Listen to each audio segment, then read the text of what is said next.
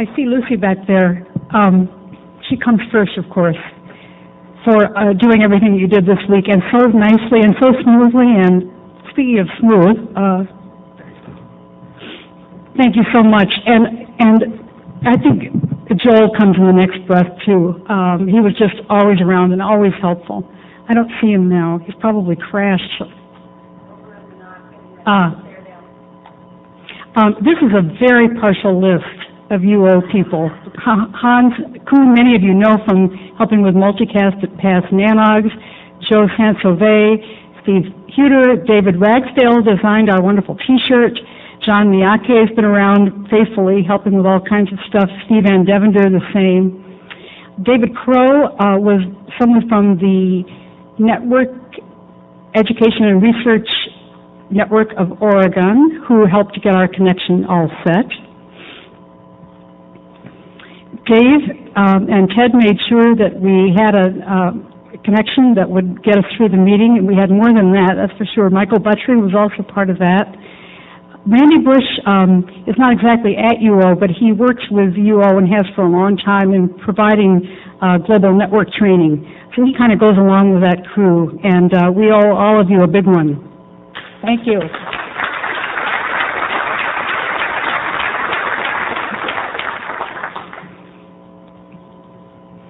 These are my um, friends and colleagues at, at Merit.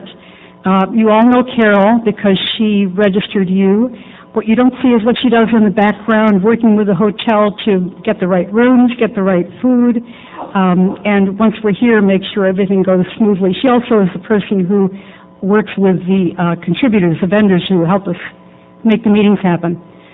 Betty Burke is our infrastructure manager at Merit. She um, is responsible for our system administrator, system administrators and all of our in-house networking, which is a lot because we are the largest ISP in Michigan.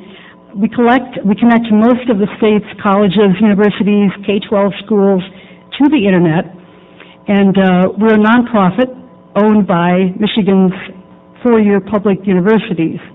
And the two guys you see pictured below here, Dave and Bob, are two of our lead engineers on MichNet, which is our name for our statewide backbone, which is the longest running regional in the U.S. Sue Joyner is one of our system administrators and is essential to the successful running of NANOG, let me tell you. Jason is one of a group of uh, consultants who work with our various customers, whether they're in the um, nonprofit domain, or we do have a few business customers. Jason handles our real media. Um, and Dawn is uh, helping with everything that Carol does. Dwayne? Okay, that'll suffice. Let's hold it to the end. Dwayne handles our split cache and all kinds of other network services while we're here. Foundry, thank you for our continental breakfast yesterday. Cisco for uh, a lot, for the many of the base stations, for the wireless network, for cards, for multicast support, and IETF also supplied base stations. If you're going to ARIN, um, please keep your network card, and we'll collect them at the end of that meeting. If you're not going to ARIN, don't forget to return it to the back of the ballroom, the wireless desk. Yeah with a hand up over there. Uh, please fill out a survey. And we'll see you next time. Thanks.